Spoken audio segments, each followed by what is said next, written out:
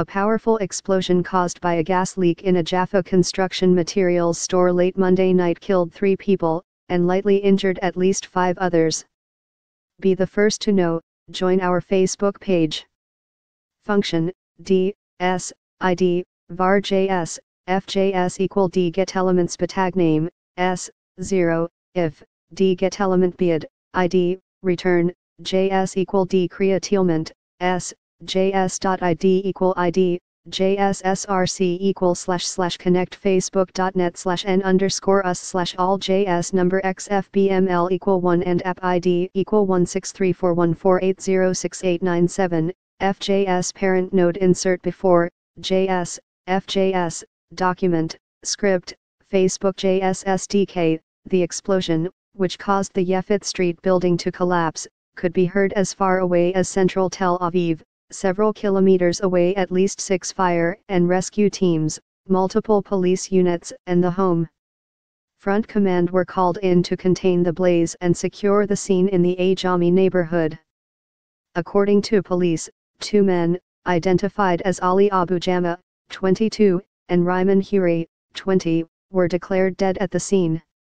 Huri, a resident of Jaffa, was buried in the debris, Jama, who lived in an apartment adjacent to the explosion, was killed when his roof collapsed. A third unidentified victim in his 40s, who sustained third degree burns all over his body, died after being rushed to Wolfson Medical Center in Holon. We treated the injured man, approximately 40 years old, who was unconscious and suffering from multi-organ injury, recounted MDA paramedic Matan Moshe Doshi. He was suffering from blast injuries and burns all over his body. Five others were treated by Magen David Adom first responders for shock and light injuries. Police said the area surrounding the store was cordoned off until firefighters contained and extinguished the blaze. Police spokesman Mickey Rosenfeld said an investigation into the explosion has been launched, but that terrorism has been ruled out after fire and rescue investigators said it was likely caused by a gas leak from an unlicensed cylinder attached to the building police and emergency units, including forensics and bomb disposal experts, arrived at the scene and immediately tried to determine the cause of the explosion, which was the gas cylinder, said Rosenfeld. When the rubble was removed, two bodies were discovered and the third man was rushed to hospital with burns all over his body.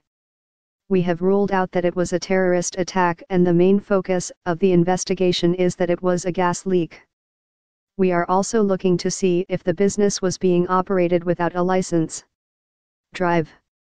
Batya Ludman, a clinical psychologist, and Dorit Mayer-Feld, a clinical social worker, who volunteer as members of United Hatzalah's Psychotrauma and Crisis Response Unit, described the scene of the explosion.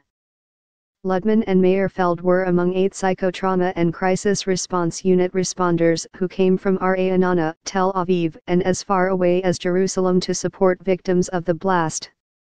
When we were called to the scene, we didn't know whether it was a mass casualty incident from a physical or psychological injury perspective, or both, said Ludman on Tuesday.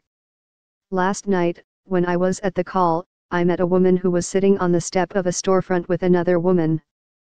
While she seemed composed, she certainly was suffering from the trauma of the explosion.